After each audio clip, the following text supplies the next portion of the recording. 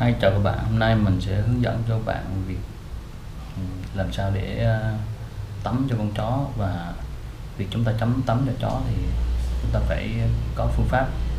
Và cái điều mà các bạn quan tâm nhất là việc những con chó chúng ta có những cái con ve và nó làm cho con chó chúng ta hút máu cho con chó chúng ta thì làm cho chúng cho chó của chúng ta trở nên gầy yếu.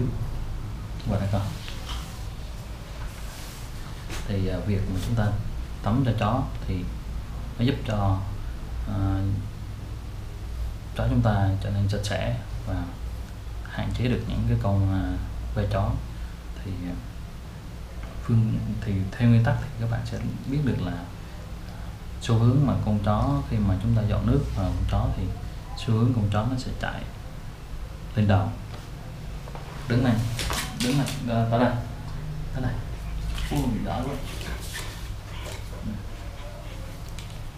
mà chút mà chút mà thì xu hướng khi mà chúng ta tắm cho chó thì xu hướng con chó nó sẽ ui nó lì quá. Đây là giống chó phú quốc rất lì, rất khó dạy nữa. Đúng không? Ngồi xuống à ngồi xuống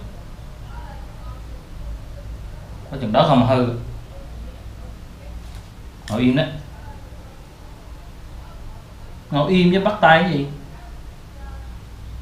Không có làm hòa. Ừ. thì con ve chó thì à, nó sẽ chạy à, xu hướng nó sẽ chạy lên lỗ tai.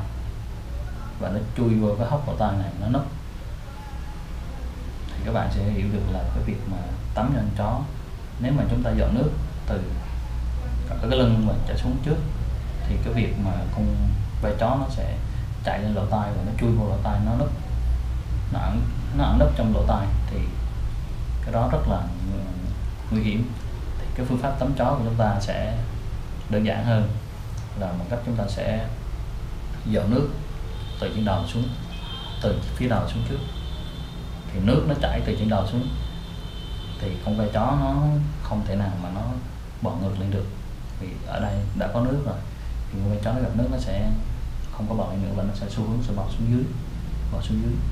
Và và các các bạn sẽ tắm dần dần từ phía đầu, từ phía đầu trở xuống trở xuống dưới ờ, thằng thân chó, xuống dưới này. Thì chúng ta sẽ có cơ hội là đãi hết những con ve chó ra ngoài khỏi cơ thể con chó. Nếu mà chúng ta tắm ở cái dưới thân lên trước, mà cái đầu sau thì xu hướng những cái con à, xung quanh những cái con ve chó này nó sẽ chui vào cái hốc lỗ tai của chó của chúng ta à, để mà nấp ẩn nấp và việc chúng ta không tiêu diệt à, được hầu hết những con ve đó. Sau khi bộ lông nó khô rồi thì những con ve này tiếp tục bò ra và sinh sôi nảy nở trên thân chó chúng ta sẽ rất là khó để mình tiêu diệt hẳn à, những cái con ve chó đó. Thì ở video ở đoạn sau của video này bạn sẽ thấy cách mình tắm à, hy vọng là video clip này sẽ giúp cho các bạn biết được cách tắm chó và đó là phương pháp mà giúp loại trừ những con ve chó một cách hữu hiệu. À, đồng thời thì các bạn sẽ sử dụng những cái loại xà phòng à, tắm chó hiệu quả mà hiện nay à, có bán rất là nhiều ở siêu thị. À, hoặc các bạn sẽ đến những cái trung tâm thú y họ sẽ hướng dẫn bác sĩ sẽ hướng dẫn cho các bạn tắm chó bằng những loại xà phòng gì tuy nhiên thì cái phương pháp tắm chó từ những đầu trước và trở xuống vẫn là một cái phương pháp. Dù bạn tắm bằng xà phòng nào thì vẫn tuân theo phương pháp đó và giúp cho các bạn à, trở nên là tiêu diệt những loại ve một cách hữu hiệu hơn chúc các bạn một ngày vui vẻ. Chúng ta sẽ tắm từ những đầu xuống. Cho cái đầu ướt sau rồi tới thân mình. Và sau khi uh, nước nó thấm rồi thì chúng ta sẽ dùng cái dầu đầu của chúng ta chẳng là những cái dầu đầu mang tính trị gầu. À, hoặc là chúng ta có thể ra siêu thị và mua những cái ờ, dầu mà tắm cho chó. Thì siêu thị bán rất là nhiều. Thì ờ, các bạn phải mua.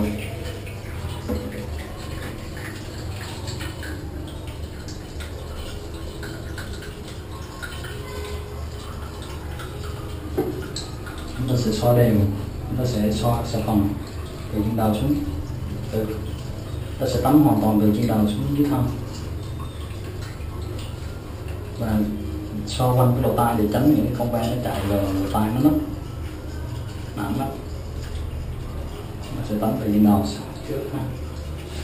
Bạn nhớ ha tắm từ trên đầu xuống dưới thân từ trên đầu này xuống dưới thân. Không nên tắm từ thân rồi nó tới đầu thì nó sẽ những cái con ve chó nó, nó rất là không ha? Sẽ chui vào những cái lỗ tai. Và những cái hốc chân này nó cũng là nơi mà những cái con uh, ve nó nó mất chúng ta sẽ tắm và chúng ta sẽ bằng những cái hốc chân này chúng ta kiểm tra về có những cái con ve nó nằm đó không? Để à, chúng ta chắc chắn một điều là những cái con ve nó không có cơ hội để nó trú ẩn. Những cái cơ thể của con chó của của mình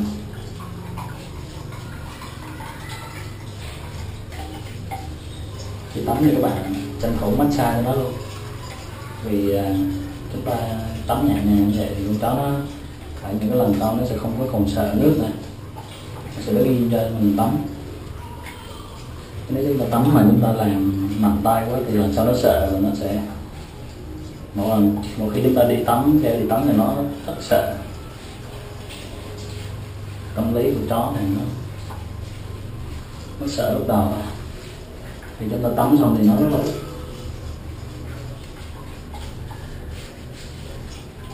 nó sẽ dùng cái chân. Nó sẽ bôi những cái chân này.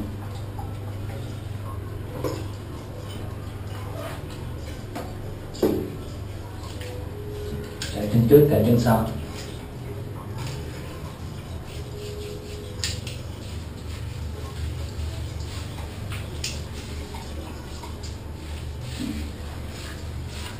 Sau khi chúng ta xoa xà phòng tắm cho chó xong thì chúng ta để chừng khoảng à, chúng ta để chừng khoảng chừng 5 đến 10 phút để cho cái xà phòng này nó thấm vào dưới cái lớp da này luôn dưới cái lớp lông này. Thì những cái con ve nó, nó sẽ có thời gian nó nó mệt khi nó nó thấm những cái xà phòng này thì nó nó mệt và nó sẽ nằm đi và nó sẽ nhả cái cái cái, cái báu vào trong cái da thì sau đó chúng ta sẽ dùng nước để mà mà trà rửa những cái bộ lông của chó. Thì lúc đó những cái con ve nó sẽ tự động nó rơi ra và mỗi tuần thì chúng ta có thể tắm à, hai đến ba lần. Cho chó nếu bạn xin thì mình tắm hai đến ba lần. Nếu những bạn bận việc quá chúng ta dành thời gian một tuần tắm cho nó một lần được. Nhưng nếu môi trường chúng ta sạch sẽ thì một tuần tắm một lần cũng không có gì à, phải ít cả. À, bây giờ chúng ta sẽ chọn nước ma ha. Chúng ta cũng dọn từ trên đầu xuống trước ha. Chúng ta dọn từ trên đầu xuống trước.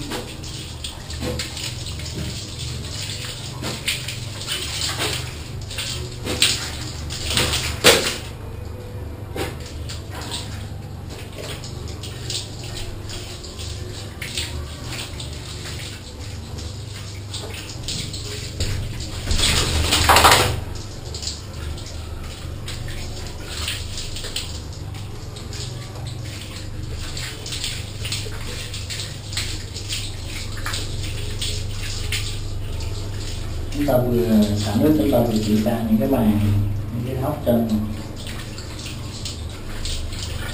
Thì à, nếu những cái giống chó mà lông nó mượt xuống này, chúng ta sẽ dùng tay hấp được lông này để à, nó sạch ha.